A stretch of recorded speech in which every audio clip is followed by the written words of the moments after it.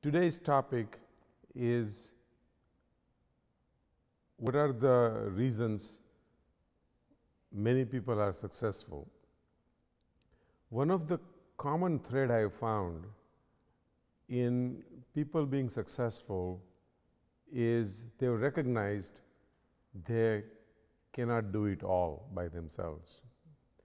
I remember Oprah Winfrey talking once and said, You cannot have it all and do it all. Most of us suffer from the anxiety that if we didn't do certain things, nobody will do as good as we would do. And by and large, that could be true, although I have my own doubts. Sometimes I think somebody who does the same thing over and over again or has done the same thing multiple times in the past or has a better knowledge about a particular thing, they actually do that thing better than we would do. We probably may do with more passion than somebody else because it's our conceived idea, so called our baby, and we always try to protect our baby as much as we can. But having said all those things, most successful people have accepted the fact they cannot do it all. Well, what is the next best after we cannot do it all? The next best thing after we cannot do it all is to be able to delegate. And these are just rough numbers. I don't have any scientific data behind it, but I believe that if you took an example or a subsegment of a general population of 100 people, I would probably think that about 80% of the people just cannot delegate. About another 15% or 17% will be able to delegate, but they will not be able to create accountability. And the last 2 or 3% will be able to delegate and create accountability. And the success lies in this last 3%. Because we all know, I think that is an undisputed fact that you cannot do it all. No matter who you are, you still only have 24 hours a day. And there's just so much you can do in 24 hours a day. So forget that uh, group of subset of about 80%. They just will not get there uh, in this process of delegation in creating a successful environment. Then the other 15 to 17 percent we talked about who can delegate.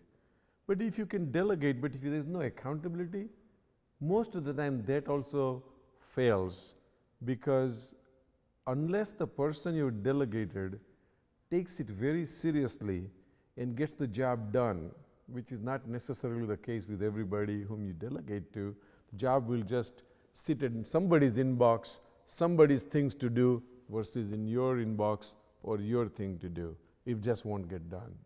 So, creating accountability is equally important or probably more important than just delegating it. So, how do we create accountability? I'm not good at many, many things, and we have talked about that many times. I always consider myself as an average individual or a slightly above average individual in, in the general population as far as accomplishments, intelligence, doing things, etc., etc., goes. But I'm good at one, one thing that I'm absolutely convinced that I can do better than, than many people I know of, and that is delegating and creating accountability. Most people think I have a great memory. In fact, I don't.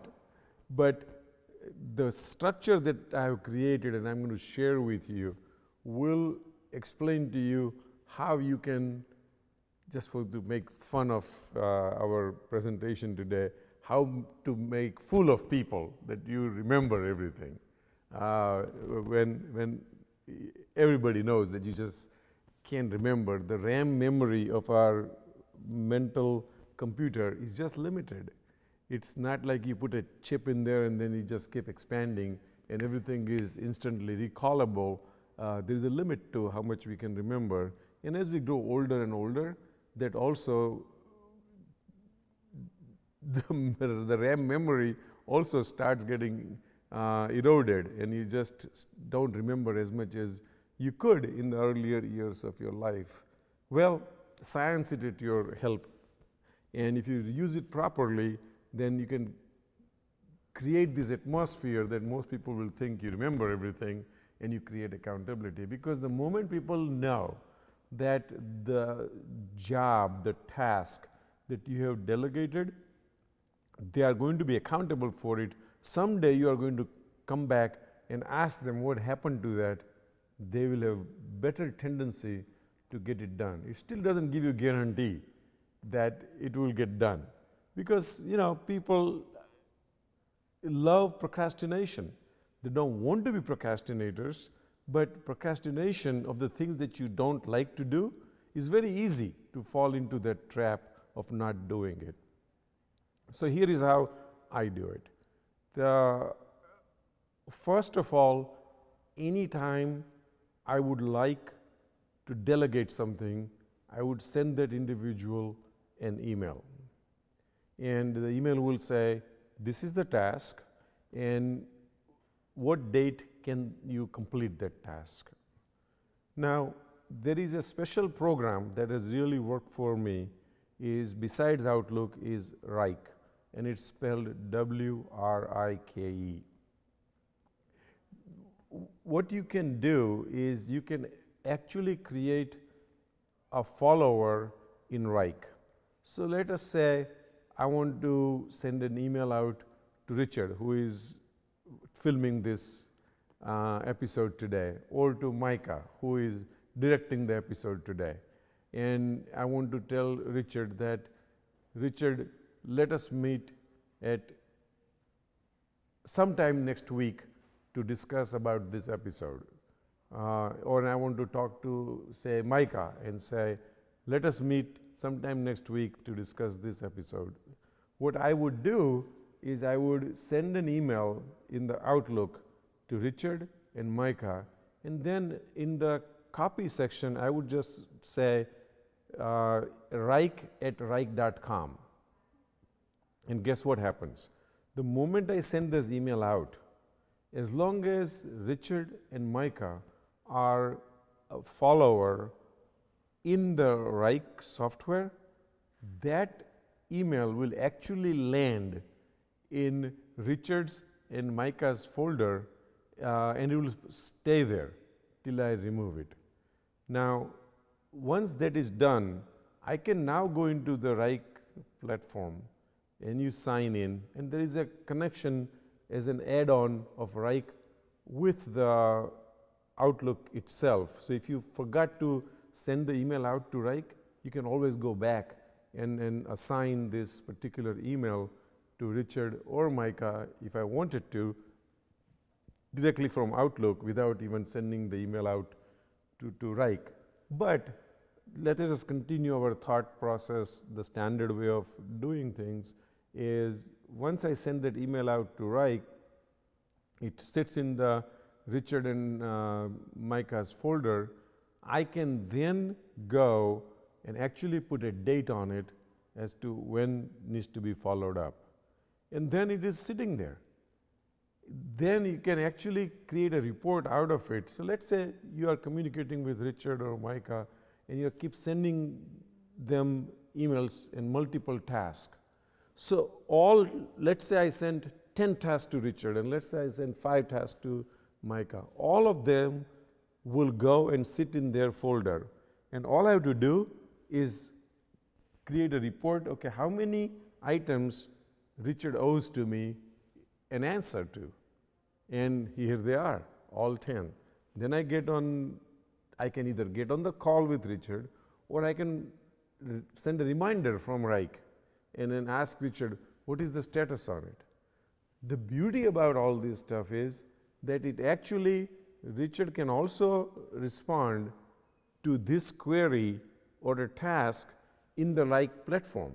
So we can actually communicate back and forth in the Wrike without even going through the Outlook. And that communication thread continues to stay there. The beautiful thing about all this stuff, it, it is also permanent. It just sits there forever. You, it can take attachments, you can transmit attachments, it can change dates, it can change the way it want, you want it to look, it can change the way the report comes out. So now, till the task is done, the task doesn't go away. And every time I talk to Richard or discuss with him, I have it in front of me, and Richard thinks, oh my God, he never forgot everything that he talked about. And, and I look smart, but the technology has really helped me to make me look smart. Ladies and gentlemen, I'm telling you, this is a very, very powerful tool. Every time you have a thought process, you create a task out of it, in, collaborate with other people that you deal with it, let them finish the task, suddenly you feel the accomplishment of doing it, and now you can have it all and do it all, except you just don't do it yourself, you do it with the help of others. The only thing I would strongly recommend the others that you choose uh, find very efficient and intellectual group of people to work with you. And as long as they are cognizant about the responsibilities, they're knowledgeable about the particular task, I think you can accomplish multiple things in a 24 hour period. You can actually live 24 hours, 48 hours in a 24 hours. You can live 240 hours in 24 hours uh, by just multiplying this, this true essence of life that I think I've discovered of creating accountability into people by using this formula, this process, and I wish you all best of luck.